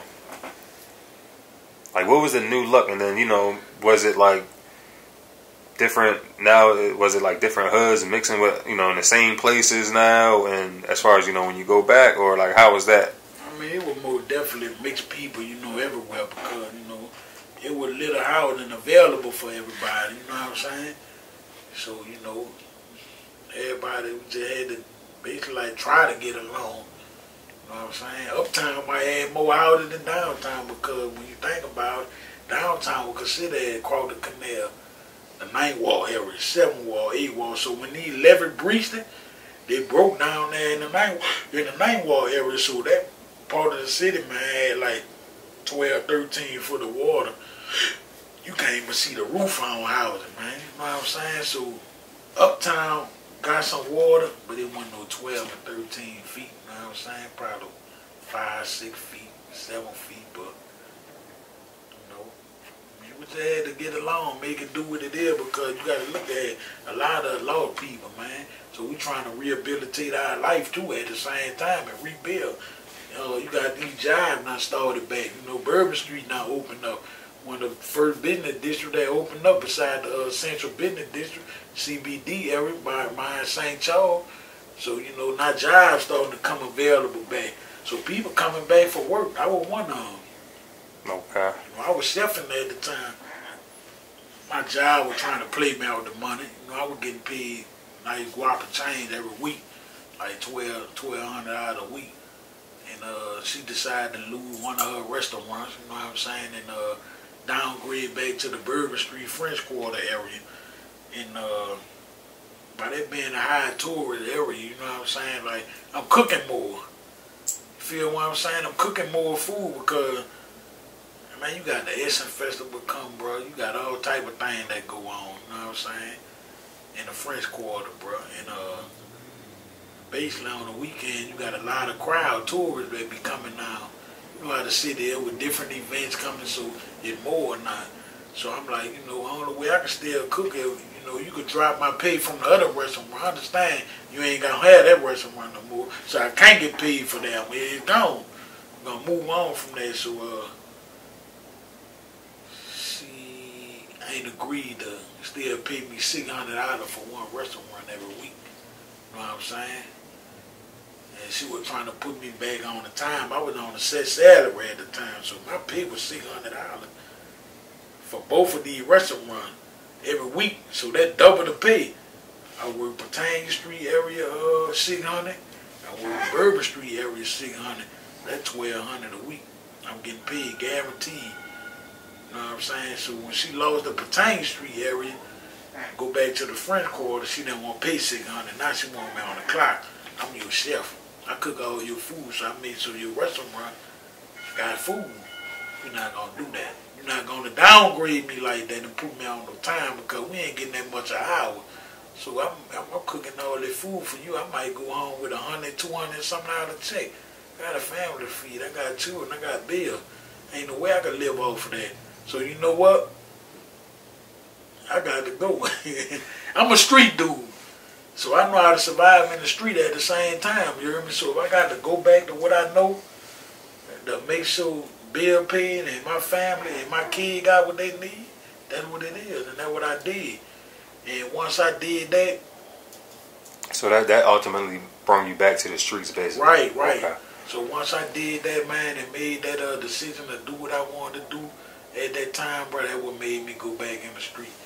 And once I went back in the street, bro, you know, I was a high head myself, man. You know what I'm saying? All type of other stuff started to come about, and and that's just what it was. You know, I wasn't going. You know, like like I said, I, I move in silence. You hear me? I Right. did things the smart way. What I did, you'll never know. You know what I'm saying? Unless I told you. Right. So, what, like, what did you uh, ultimately get locked up for? What, what were your charges? Uh, my my charge uh, two counts of on, on robbery. Uh, uh, I mean, one count of on robbery, two counts of kidnapping. And uh, I was facing three life sentence plus 25 years in the state of Mississippi.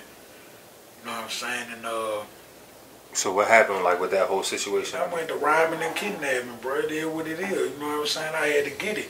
You either get down or you gonna lay down. I'm coming to get it. I heard you was a dope boy. I heard you got some money in your house. You got some drugs in your house. I'm coming to get it. Point blank period. And that would lead me to prison. Once I left New Orleans, and I'm like, you know what? I'm about to go to different states and try this. You heard me? They tell me that I heard that this one got it, that one got it. You just gonna go at it. When I made the Mississippi, man, that was my last stop. You heard me? The, the, hey, the cracker wasn't going. You heard me? So you know, uh, I ain't getting no high speed chasing nothing. You heard me? Uh, I was identified. Actually, I was identified by a person that you know I done laid down, and uh, I ain't care at the time. No mask, no nothing. I ain't care. I was in, I was in the mind frame like you know effort. You hear me? So I ain't care. So I was identified, bro. And uh, I ain't lead them on no high speed chase. But uh, I know that these these white folk, man, if I don't stop in the area to where a lot of people ain't no telling what they gonna do to me. So I pulled over in the McDonald uh, parking lot. They snapped me out the car, got down to my ER 15, all that old stuff. And they brought me to the county jail. Was investigated for 72 hours, you know what I'm saying? They couldn't get nothing from me. You know, I was telling them fuck them and all this here. You know what I'm saying? It is what it is. Y'all asking me questions, y'all supposed to know already. Bring me back to my cell, man. I don't want to talk. I'm tired. But you must got some cigarettes for me. You know what I'm saying? So they like, oh, you a little smoke. Like, man, listen, bro. So I go back to my little cell, bro, and all that, you know. They held me in the county jail for like a year. After my year, we go to court. Bam, I go to court. Drive out, you know what I'm saying? To the 15. And like I said, instead of 15, I wind up doing 13 because the law changed. So now I'm home right now today, sitting in front of the camera with you. So you know what I'm saying? This is an epic moment, you heard me? I mean, see, it's freedom, bro. I've been living good, eating good, you can see. Uh, I'm, I'm at a weight that they probably ain't never saw me. So I'm, I'm living good, man. I'm comfortable, you know what I'm saying? I got you. Trying to give me three life sentence plus 25 years and by me kind of knew the system a little bit, the law a little bit. You know what I'm saying? To my knowledge, uh, I had a lawyer and uh, and I was breaking down to my lawyer like, look, man, I can't, I ain't about to lay down to no three life sentence plus no 25 years, bro. with the better offer that you could give me. You know what I'm saying? I need you to go up there to the district attorney and y'all need to talk and see what it is. You heard me? And then uh he went up there and he come back, he like, man, I got good news.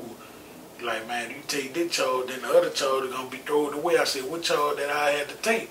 And how much time? I don't mind doing that because I know I was in the wrong. I'm set my wrong, you heard? Them in the state of Mississippi, man, these redneck, man. No, they they live for hanging you. They live for throwing you away for life sentences and stuff. So I got to play the game they're playing. You hear me? I got to beat them at their own game. You hear me? I got to be smart. So y'all want to ball? I ain't gonna take y'all to trial. I'm gonna take y'all to trial. I'm gonna lose. And if I lose, I got three life sentence plus 25 years. Like I said, hey, what you got on the table for me? Go up there, holler at the district attorney and the DA. You know, that is the DA. So we go up there, he like, uh, best thing I got, man, is uh, cab out to the home robbery and uh, we're uh, MP, the two kidnapping charges. Now processing MP, that what it mean. So I'm like, man, what that day for day or that just 15 years, you know what I'm saying, with time cut. Like that day for day. So I'm looking like, man, listen, man, to play with these crackers out here, man. You know what I'm saying? Three life sentence, 25 years. Take it to trial, I lose, I get that.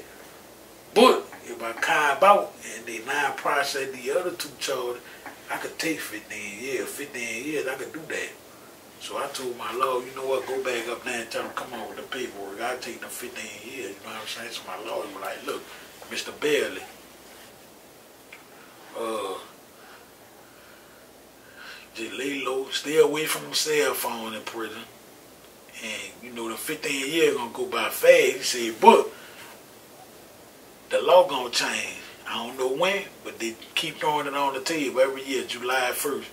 That they, that you know, it, it gonna change. So I've been sitting in that 13 years, man, waiting on the law to change. You know what I'm saying? So actually, July 1st, 2001,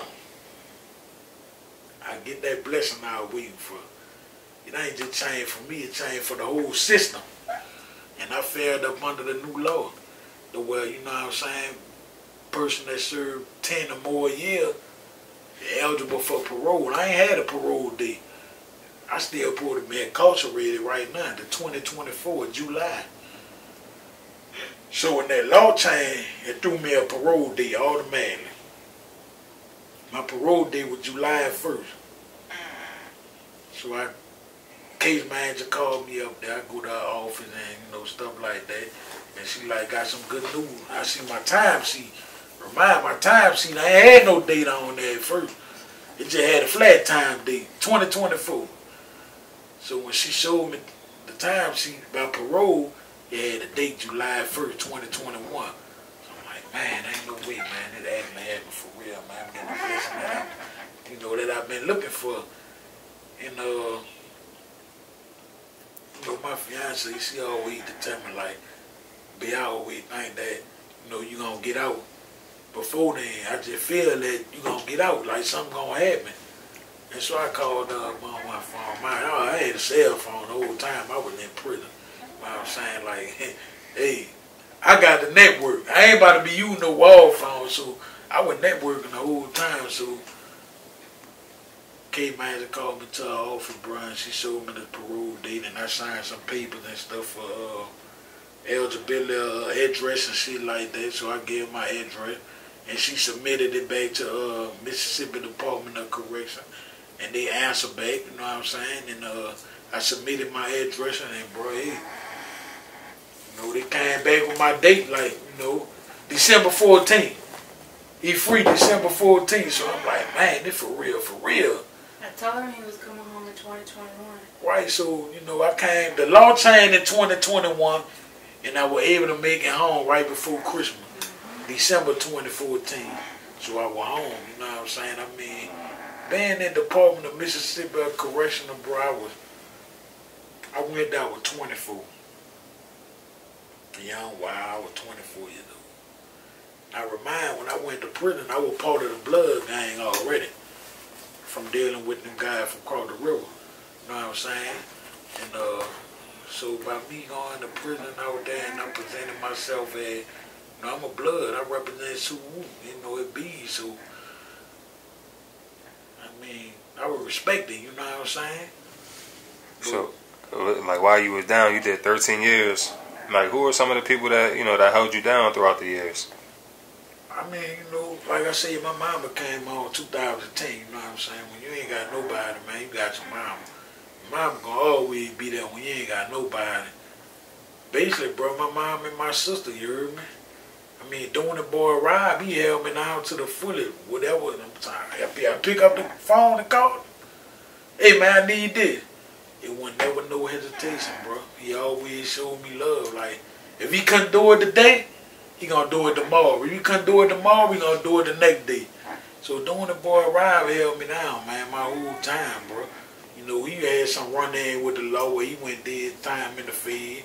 You know what I'm saying? We come home and always that call away. He always connect back with me. You know what I'm saying? So we held me down my whole time while I was in incarcerated. Like I said, my sister, my mama, but for that anybody out the hood, bro, Ain't nobody out the hood held me down, man. You know what I'm saying? I mean, I reached out to Skip, Skip Boo when he came home. You know what I'm saying? Brought some me uh, a couple of his books that he had made. You know what I'm saying? And you know, he was just coming home. I ain't to be a burden on him, and I know he just coming home. You know what I'm saying? Send me some book, bro. I need something to read. So he sent me some books, and I read them, bro. Send me some pictures and stuff and all that, but other than that, man, you know, I, I, I help myself now, really. You know what I'm saying? I, I was hustling. I got a phone. You know I mean? I mean, I'm a hustler. I made a way. I ain't had to call home and really ask nobody for nothing. I made my own money. So, like, did you did you feel at any point did you feel forgotten by, by you know by by where you was raised at times? Like, did you feel like you know you got your time and like nobody reaching out or you know what I'm saying? I'm gonna say I ain't never felt forgotten. You know what I'm saying? It's just like, you know, people have their life to live too. Gotta always keep that in mind that people living their life out there. You know what I'm saying? So there's other things that going on besides me in prison. They know one thing, I'm safe. I'm alright.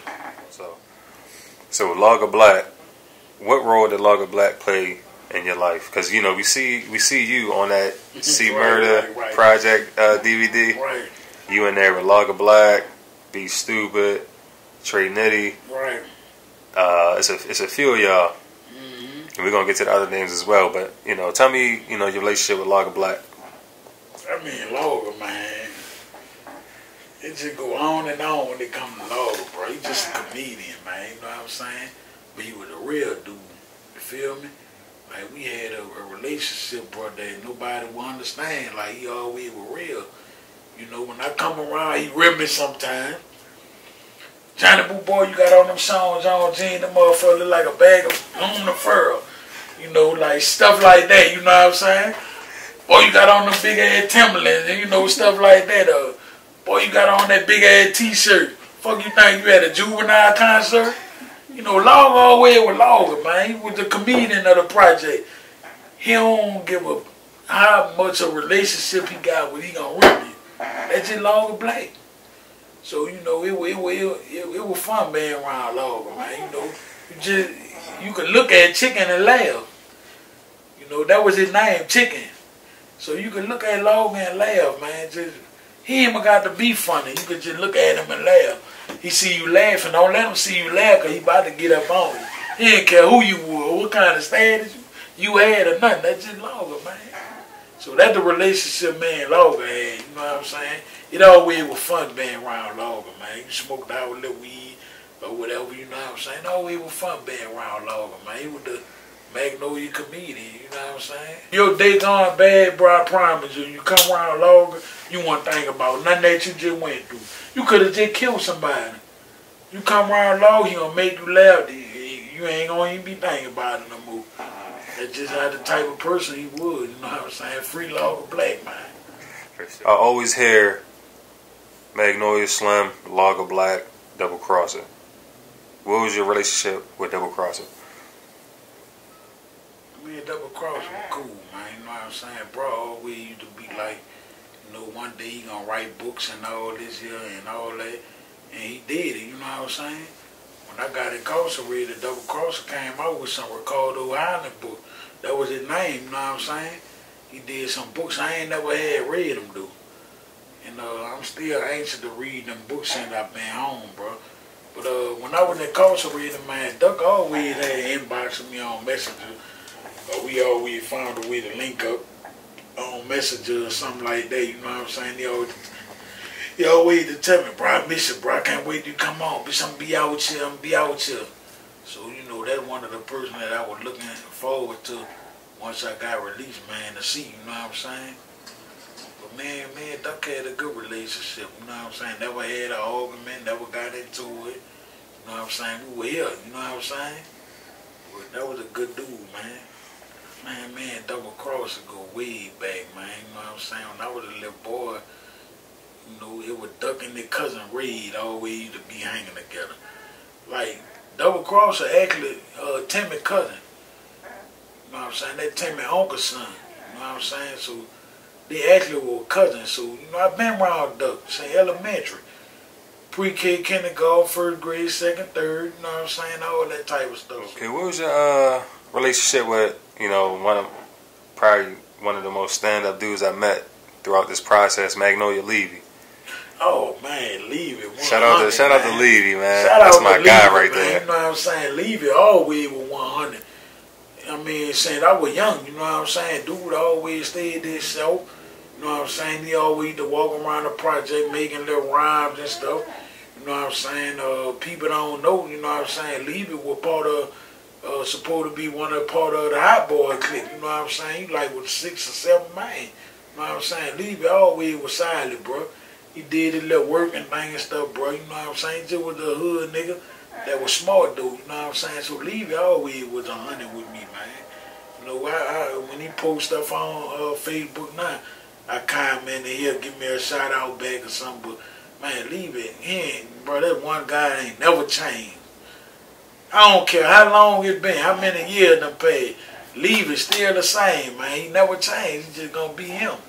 So you know what I'm saying? Leave Levee, real Magnolia player, man. Real Magnolia stand up guy. Okay. And him always had a relationship where they would him passing me up, me passing him up when I was out. It always was straight. You know what I'm saying? Never no conflict. For sure. Yeah, shout out to Levee, man. That's Yeah, a real dude right Levee, there. man. You know, right now, you know, the internet, you know, Gangsta Williams is home. Do you remember him back in his younger days? Before he got locked up? Yeah, I remember when I was young, you know what I'm saying? You know what I'm saying? I mean, had the little bands and all that stuff, you know what I'm saying? He was hot. He was the original hot boy, you know what I'm saying?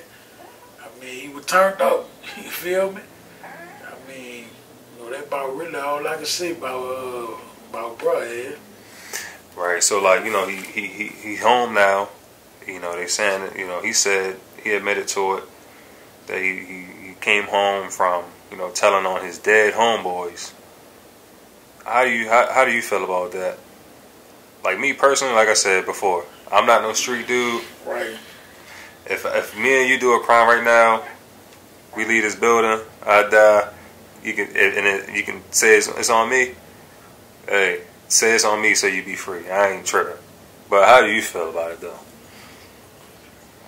Mean, man, that's a hard pill to swallow, man, when you know somebody that got some clout in the game, you know what I'm saying? From all that time, you know what I'm saying? You never snitch, I don't care what it is, man, you know what I'm saying? Never fool, bro, whether it be the dead or the living. You know what I'm saying? That's just something that, you know, you can't do, bro. I'd rather spend a life in the, in the prison cell before I do that. You know what I'm saying? I had, like I said, I had three life sentences plus 25 years, bro. What I'm saying? I, I ain't, ain't no way my heart, my mind could tell me to snitch. I just went laid down, you know what I'm saying? It is what it is. I know one thing, freedom gonna come one day, bro. You know what I'm saying? So that's a situation, bro, where I ain't gonna really just speak on too much, you know what I'm saying? Because that ain't my situation. Who say that, you know what I'm saying? he was forced to do it, he had to do it or whatever. That's just his situation, you know what I'm saying? And people going from the outside looking in, they might not understand what he did, but he did it for whatever reason he wanted to do. So I'm free, you know what I'm saying? I'm out here. And I'm out here to stay, you heard me? So, you know, I mean, that's all I can speak on, bro. Are you are you familiar with any other the other two uh, original Hot Boys? You got Mosquito and Sterling. Do you have any early recollection of, of them two? Hey, man, I remember Mosquito when I was little, man. You know what I'm saying? I ain't got too much history with Mosquito because I was young. But Sterling, I got a little history with him, bro. You know what I'm saying? Because he always used to be around in the project, just like Mosquito used to do. But Sterling was always to come around with Dooney a lot. You know what I'm saying?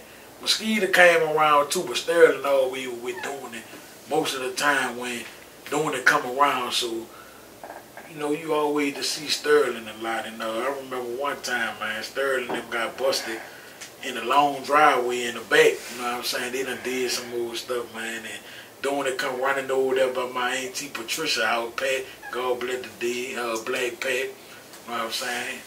And uh, Sterling got caught up with another individual. I ain't gonna say no name, but they got caught up in the back driveway. You feel me? And uh, you know, I had a good relationship with Sterling. Like I said, I was young at the time, man. You know what I'm saying? So it was just some short because them guys' life got cut short. You know what I'm saying? Like Sterling Mosquito. You know what I'm saying? Uh, like Eric Maurice. You know, all them guys. You know, their life was cut short while we were young. So you only can speak on what you do remember from them. You know what I'm saying? But they were some real live dudes, man. But they were some good dudes. Know, they to give a quarter and a dollar, man, to go to the ice cream lane. Go by Mr. Brother, get frozen cups. You know what I'm saying? I mean, that's just what they were. You know what I'm saying? They was some, they was some I guys, man, growing up. Okay, for sure. So I can't say nothing bad about. Besides what they did, I mean, you know, like I said, you never know what them guys had to do to survive, man. But they did it. So in the in the in the, in the prime of the Dooney Boys, who are some of the people in the city that y'all were in tour with? I mean, really, basically, man, we were mostly beefing with niggas from our own section. Like I said, hatred. You know what I'm saying? There was a lot of hatred in the project, bro. You know, I mean, it was hatred toward Dooney, the what he did, and taking the young guys and some of them dudes that was around the project that been around. They, I don't know, they didn't want to accept it or respect it, but they, they didn't. You know what I'm saying? But like I said, man, when why hate on the next man for doing something when you could have did the same thing? You just ain't had the mind or you just ain't had the money that he had to do it. You know what I'm saying? It was something easy. So mostly I was beefing from our own section, like I said. Uh, late in the game, you know what I'm saying, beef developed from other hoods and stuff, you know what I'm saying, for, you know, them come and try to talk, target one of our members or us targeting one of these members and, you know, stuff like that. But, uh, I mean, you know, beef ain't never squashed, man. Die down sometime, you know what I'm saying? So, long as you living, man, and, and nigga feel like you out here, nigga, you a target, you still a target. So, you know, we beefing with all different type of sections of the, uh, of the city. Some niggas out the mouth, some niggas out the yo. Third and Galvez, motherfucker beef with at the time, you know what I'm saying? Like I said, most of the beef from my own section, man. So, Okay, so who who were some other names from out the other projects that was kind of ringing at the time? I mean, you had a lot of young cat, man, that were ringing at the time out the project, man, out especially out the Cali, you, man. You know what I'm saying? So the Cali was known for Yeah, the Calliope, them, them guys put in work, you know what I'm saying? My cousin was a post boy, you know what I'm saying? Josh and Joe, they were post boys, you know what I'm saying? My cousin Joe got killed in the Cali, you know what I'm saying? Come up together, man. I'm talking about, they my, they my blood cousin for real. So, you know, So what, what was the situation with that as far as because you know he was also on that the DVD yeah, as he well, was also on the street from the project right? DVD So what was what was that situation about? I mean, I won't want to speak on it too much, but uh, it was just some behind the back snake shit, you know what I'm saying? And, and really just snuck up on him, bro, and just knocked him out, you know what I'm saying? I still don't know the situation with uh, his brother Josh, though. You know what I'm saying? I ain't really just uh, got into detail with that with nobody, but, you know, they were just young and some wild guy, bro. Like I said, growing up in New Orleans, man, when you do the certain thing, bro, you know, I mean, they come back on, you know what I'm saying? Don't never think that ain't nobody watching you or you getting away with something. We going to be slick and we think we can, you know what I'm saying? So, stuff just happen, man. Like, I the strong survive, bro. Like, I'm one of the ones still here to live and tell a story, and that's why I'm here today. Do you have any early memories of the Cash Money Hot Boys in the projects? Turk, Juvenile, maybe BG. I know he's from the 17th, but you know he's you know he's around Magnolia a lot. Like, do you remember seeing them or you know being around them? I mean, I always around Turk, man. Turk, Turk. Shout out to Turk. Turk, we need you here. Tell Turk man he need to be on here next, man. Hey, man, you know what I'm saying? I always was around Turk, man. We used to get Turk one and one, man, until you Trans Am or his uh, uh, Land Rover, bro, and just drive around the city, you know what I'm saying, doing dumb shit. And Turkey to be like, man, I ain't ride with y'all the boys, man. Y'all, man, y'all ain't too much stuff. That nigga shooting at my truck or my car and all that. Nigga like, man, shut up, man. In the back seat. Oh, man, take this. Here. You know, that what he wanted. But Turk was always alright, man. You know what I'm saying? I got some uh, stories about him, but I ain't gonna speak up on it. You know what I'm saying? But uh, like Juvie, Juvie was like an older head. You know that you looked up to, stood on for Red by Grandma. You know what I'm saying? All Always around there by Grandma, through a little DJ every Sunday, uh, every other Sunday. You know what I'm saying? He just would hang out with my uncle Lonzo. You know what I'm saying? Uh, Black Zoe that's leaving Uncle, so you know that's the hood, that's the hood Uncle. But that Magnolia leaving Uncle, you know what I'm saying? But uh, you know, Lonzo, he uh used to mess with my stepsister Teresa, which was Dolores' daughter, you know what I'm saying? But uh, like Juve always was cool, man. I ain't never had a problem with Juve. Like he always see me speak. What's up, little nigga? Why, you know? I holler at him. We, you know, go on about our business. You know what I'm saying? It was like that for that Jesus, you know, man, him got a lot of history together, you know what I'm saying? I don't even want to link that out there, but few people know, some people don't know, you know what I'm saying? We just gonna uh, expose that when he come home, you hear me? I'm gonna just see that like that. I reckon him, me and him be on camera, but the uh, for the one that know that, they, know, you hear me? I mean, uh, Lil Wayne, I ain't never just had no relationship with Lil Wayne, bro. By him being from the 17, his mama was kind of hard on him. Seemed to let him come roam the city like that. Uh, so I really just can't speak up on Weezy too much like that, you know. But uh. Okay, but like take me to so take me to the Magnolia though, like '99, 2000 when Cash Money got the rap game on Smash. Oh man, I mean they dropping hit after hit. I know, I know the project was on fire. It was on fire. I mean, nothing that was about it was on fire, bro. They was on fire. I mean, it was every, you you wanted to be like the hot boy. You know what I'm saying? You wanted to be like the hot boy, wearing your big t-shirts, your boots, your, your Soulja Reeboks, or your classic. You know what I'm saying? We all know Soulja put the Soulja Reebok out there. You know what I'm saying? But the hot boy represented just as well as Soulja did, and the classic Reebok. So, you know, you got the whole Magnolia. You know what I'm saying? Wearing Soulja Reebok, classic, Jabot, t-shirt. You got the handkerchief tied around your, uh, your, your arm, your neck. Got it tie around your head. Everybody want to be a hot boy. You know what I'm saying? I always wanted to be Jizzle. You know what I'm saying? That's my brother. So, you know what I'm saying? So, I always wanted to be him. That was my hot boy. That was, you know, that's somebody I always looked up to. You heard me? Eh, eh, eh, Doing the rap game. You know what I'm saying? But, uh, man, they had, they had to sit down on fire, man. Especially when Juba dropped that back, that thing up in uh, Shakespeare Park, you heard me? Everybody was out there, man. They were hot. I mean, they were hot at the time. You know what I'm saying? Uh, Juba did that, got that fire. Holler at a nigga you want that Oscar Mayer. I mean, they was, it was on fire. The high. Right now in the Belmont Court, we, uh, uh, right now uh, where you shoot basketball on a basketball court. you dropped that high, come back there. Then he did a few shots on the old side of the project. I mean, they were high, man. It was their era, you know what I'm saying?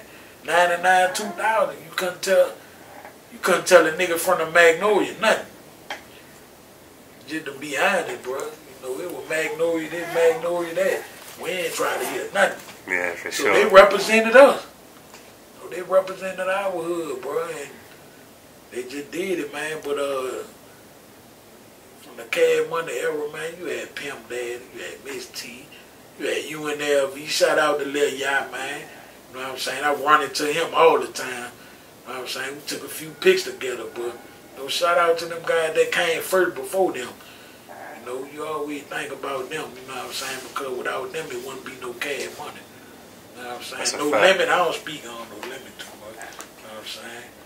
When it come to Master P, bro, you know what I'm saying? It, it, Why, why was it that, you know, I turn to the devil when I think about P, man. I'm just behind it, bro. I don't like how dude played the game, you know what I'm saying? like, what, what's, what, what's your uh, disdain towards P, though? I just don't fuck with him, Okay. period. Is that like a, I don't even listen to his music. You know what I'm saying? 'Cause once you cross one of mine, then you cross me. So once you cross Soulja, I ain't paid him his money, then I felt like you ain't paid me mine. You know what I'm saying? That's just that. Cause, cause Soulja C Murder, we always fucking with C. C a real one, you heard me? So shout out to C Murder, man. You know what I'm saying? Free C Murder, bro. You know, never give up. You know what I'm saying? You know, one day, man, you gonna be out here. You heard me? You gonna be on podcast or YouTube telling your story, see? So, you know, keep your head up, bro. I know you gonna watch the video, so keep your head up, C Murder. You know, uh, I got a few other more shout outs. Got my girl Javonda, man. You know what I'm saying? Six coat for sure. You know what I'm saying? She hooked me up with the lady gift. You know what I'm saying? Go on her uh, website, man, at Javonda Socks, you heard me? And get your lady the uh, Ote gift. Rest in peace to Lil T, man, with a silent young cat. You know what I'm saying? I want to shout out to Dana. You know what I'm saying? One of Soulja Slim baby mamas, you know what I'm saying? She got a son for Slim, you heard me? He locked up during that time, but he be home. Lil Ziggy Low, you know what I'm saying? Free Lil Ziggy. Uh, to shout out to Saint Mac, man. Uh, Murder Love mixtape, man. You know what I'm saying? He did that. He done shouted me out a few times on it uh, stuff, man. And, you know, that dude, man, holding me down, man, since I've been in prison. You know what I'm saying? I want to give a shout out to the whole Magnolia, man. You know what I'm saying? Basically. You know what I'm saying? Because without y'all, it wouldn't be no me.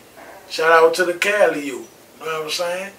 I mean, my family, my mom, my sister, nephew, nieces, my children, my fiance right here. Come here. Since you just hide back in the cut, you know what I'm saying? This my baby right here, you hear me? She been holding me down. Come down a little. She been holding me down, man. My time in, in prison, man. You know what I'm saying? So, you know what I'm saying? I got me a real one, you hear me? She Hey, and shout out to um my hometown, Brewton, Alabama. Shout out to Mobile to 251.